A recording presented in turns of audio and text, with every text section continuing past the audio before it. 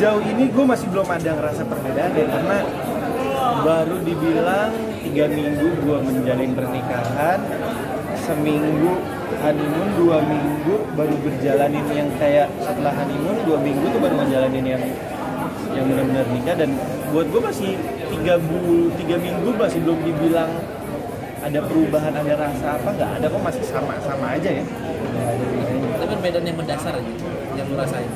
Perbedaan mendasar paling kita bangun oh ada istri gue. Tidur ada istri gue. Terus bangun kayak gue mau promo ini atau segala macam disiapin kopinya apa segala macam. Sama makan disiapin apa segala macam. Tapi yang membuat lu akhirnya nah sekarang kan apa namanya lu menikah dulu mungkin apa sih yang menahan? Menahan tadi lu bilang kenapa ada dulu aja lu menikah menahan untuk menikah apa? Kan baru jodohnya atau- sekarang. Gimana kan kan tadi juga gue bilang gue setelah pacaran lama abis itu gue putus nggak jadi nah di situ kan gue fokus cari yang cari yang siap dinikahin nah pas banget dapetnya itu yang kemarin Untuk risetnya So- sendiri gimana mas? Kan berbeda dari kehidupan nyatanya. Nah, untuk riset itu bagaimana? Eh, untuk riset itu ngobrol-ngobrol sama orang yang yang udah pengalaman kayak gue ngobrol sama kakak gue terus habis itu eh tanya gimana sih nikah tuh rasanya kayak gimana sih? Nikah tuh rasanya gi- jadi ada beberapa orang yang tanggapannya nikah tuh beda. Ada yang ada yang bilang nikah itu bahagia ada yang nikah bilang nikah itu eh, luar biasa. Ada juga yang bilang yang jelek ya nikah itu waduh lu puas-puasin dulu deh baru ntar nikah tergini kalau buat gua semua tanggapan orang ya mungkin ada benernya juga ada enggaknya juga kan tergantung kitanya kitanya aja sih jalan target ngomongan sih gimana sih Hah? Target gimana? target ya nggak nggak ada ditargetin kalau yang jadi jadi. Nah, jadi jadi enggak enggak ya? Hah?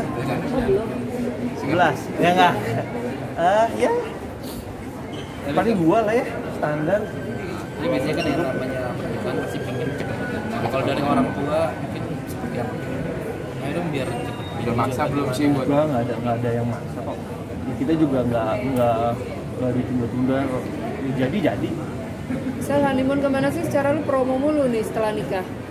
nah, kemarin kan ke Bali dulu terus habis itu paling rencana mau ke Eropa Belum ya? belum Rencananya kapan? istri lagi sakit Hah? bang ya Rencananya kapan? habis Habis promo ya. Habis promo ini kah atau seiring berjalannya masih promo? nunggu visa dulu sih belum ngurus visa aja udah promo jadi bingung gimana mau berangkat gimana mau berangkat honeymoon istri lagi sakit sakit apa bang yang sakit kan gue oh lu lu, sakit apa tuh Sakit apa tuh? Hah? Sakit apa? tenggorokan Oh, kecapean apa gimana Kecapean nggak tahu kecapean kenapa cuma pas kemarin dicek eh, infeksi aja tenggorokan Sampai dirawat. iya sampai dirawat dua hari sempet ada takut eh, virus-virus baru kalau yang virus corona enggak enggak enggak enggak gue nggak takut Iya, maksudnya amit amit jangan sampai. Cuma kan memang gue enggak. Tapi kan ini lo mau keluar negeri kan Nah, Apalagi sekarang lagi lagi diwaspadai Virus luar negeri ke mana-mana gitu Udah menyebar ke mana-mana gitu. Lu sendiri ketakutan nggak sih apalagi nanti bentar lagi mau ke Eropa gitu Setelah visa jadi? Kan ngurus visanya nanti setelah sy- sy- syutingnya selesai promo. Itu kan belum belum tentu langsung dapat nunggu apa sih ya kasihnya lama lah masih dipikir jangan jangan dipikirin takut takutnya Nyantai aja. ah, jangan yang penting kita tahu kita bersih makan makanan bersih kenapa harus takut Teman-teman sorry balik ke film ya. Kita Oke. Oke. Sel, buat dari lu sendiri buat acting lu banyak nonton film atau belajar sama siapa? Untuk karir lu sendiri, belajar dari di film kan beda ya sama sinetron atau FTV. Gimana cara lu buat? Eh, kebetulan eh, dulu sempat les acting sama almarhum Didi Petet terus habis itu ya uh, ke sini sininya lebih banyak ngobrol sama sutradara sama acting, acting coach. Jadi setiap kali gue syuting film tuh kita pasti disediakan acting coach.